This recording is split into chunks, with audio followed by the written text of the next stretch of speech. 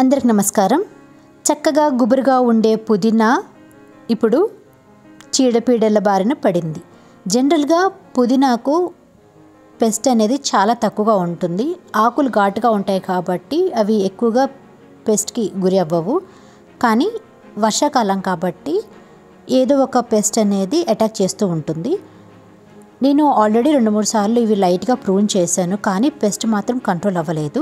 రెగ్యులర్గా వర్షాలు పడడం వల్ల నేను ఎక్కువగా వీటికి పెస్టిసైడ్స్ అనేది స్ప్రే చేయలేకపోయాను.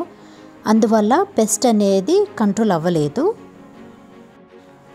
ఆల్రెడీ ఒకసారి నీమాల్ స్ప్రే చేశాను కానీ రెగ్యులర్గా వర్షాలు పడడం వల్ల వీటికి పెస్ట్ అటాక్ కూడా తగ్గలేదు.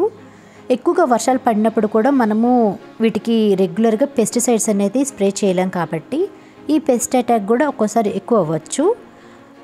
కొంచెం ఉన్న పెస్ట్ కూడా మనము కొంచెం నిర్లక్ష్యం చేస్తే అది ఎక్కువయ్యి ఆకులు మొత్తం స్ప్రెడ్ అయ్యే ఛాన్సెస్ కూడా ఉంటుంది.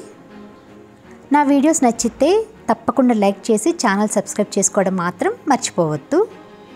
ఇప్పుడు నేను ఈ పైన ఉన్న చిగుర్లన్నీ తీసేస్తున్నాను. ఎందుకంటే పెస్ట్ అటాక్ అనేది కొంచెం ఎక్కువగా ఉంది కాబట్టి పైన ఉన్న చిగుర్లన్నీ కట్ చేసి ఏదైనా ఒక పెస్టిసైడ్ స్ప్రే చేస్తే ఇది చాలా మటుకు కంట్రోల్ అవుతుంది.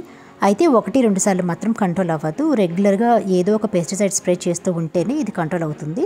ఇప్పుడు వర్షం పడుతుంది కాబట్టి నేను స్ప్రే చేయను. కొంచెం వర్షం తగ్గిన తర్వాత నేను స్ప్రే చేస్తాను.